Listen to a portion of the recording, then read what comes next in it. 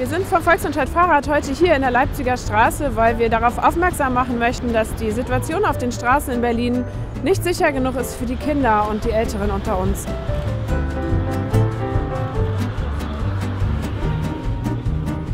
Wir brauchen kindersichere Radwege, damit alle Kinder, Erwachsene und auch Senioren sicher in Berlin Rad fahren können.